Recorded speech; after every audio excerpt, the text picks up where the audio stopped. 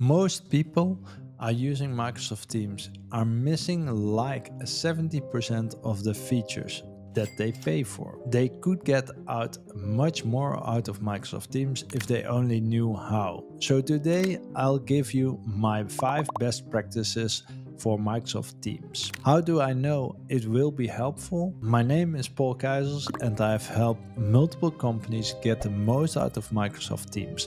So you can trust I know what I'm doing. Let's jump into it. So we first go to my number one, and that is in chat. So here we have Microsoft Teams, and what happens a lot is that people are chatting to each other and they create a group, and this group is like small project. So they start sharing files and moving around, and yeah, that works really fine until somebody leaves the company because most of the files are still on the OneDrive. So I encourage you if it smells like a project, then move it up to a team and create your channels. So that's number one. So the second uh, one, number two, is about right clicking a message. So here you see that I've done uh, several tests, but I can uh, right click on it and I get get directly to the menu. Most people were aware that it was under the three dots, but now they have added a right click on the message. This works for this part, uh, for on the chat, but it also works within channels. So here I can just click and it will also work. So that's a really uh, beneficial because it so saves you a lot of time by right clicking and not not going to the three dots uh, to check oh, here's my three dots, and then I still need to click.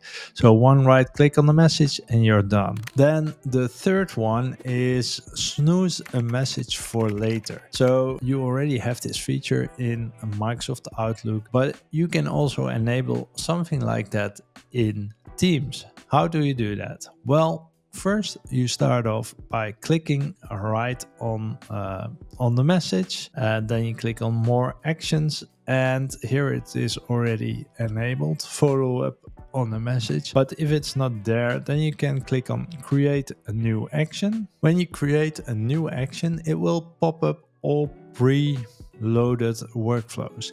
This means it's a template. If you click on it, it will load it in your workflow environment. So in this case, we are going to select follow up on a message. It will open the follow up uh, panel or the workflow. It initiates the name and the connections. So in this case, we need a connection to Microsoft Teams and to Office 365 users. So both are on your own name, so not on a, somebody else's name.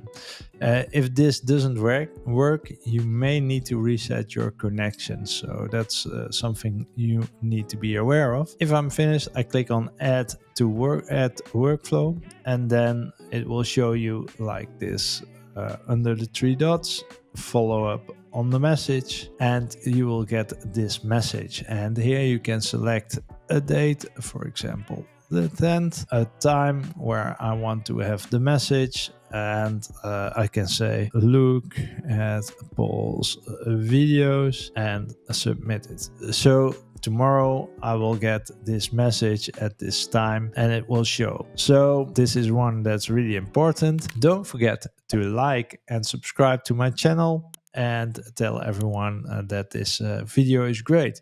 Uh, thanks for sharing. Now, as you know, I sh showed you what happened. So it, it generated a message and if we look in the chat, we see that uh, the workflows has sent a card uh, that my workflow is ready and running. So that's great because I know it's it's working. And I did this before, of course. I also got this message follow up on a message, uh, Paul. So this is a demo. So I use this and this brings me to number four, channel no or notification in the activity center. We, you may have seen that you get a lot of notifications, but in the activity center that are the most important. If people add mention you or there is something important, then you go and look in the activity center. If you are really busy, you only need to view on the activity center. If your governance is correct and your adoption is done well. So what we can do, for example, I don't want any workflow messages. I can turn off the notifications for workflows, but be aware no workflow will come through. So that's really a catchy one. Um, I would uh, not do this, but let's go to the notification settings. Here in the notification settings, you see that almost everywhere you see show in activity and banner.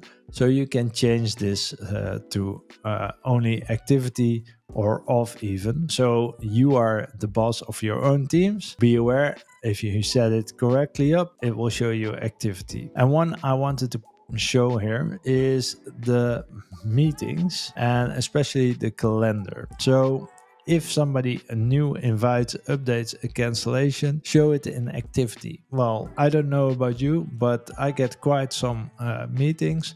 So I turn off this notification in the activity because my activity is the most important one. So that's why I turn it off. But you can turn it on, of course. These are settings. Please go through them and check if they are applicable for you. Then we've got the last one, and that's one of the uh, most important ones hide a channel. So I got here uh, the general channel. This is something that's new and was not possible before. We can click on it and we can hide the general channel. Now you see I've hidden it and it directly hidden the team. So I'm going to show the team again. Show it will come back at the top and I can go to uh, for example uh, Feest Nieuwjaar which is a Dutch name. I can even hide this one so I can say hide. And now all the channels are hidden so I need to go and see all channels. Here we see that it's uh,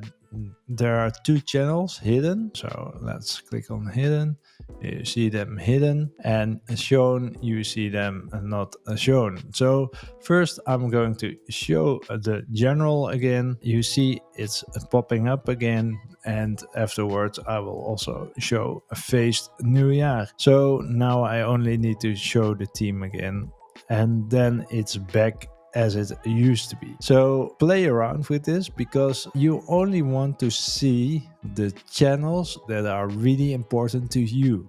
So you work on a daily base.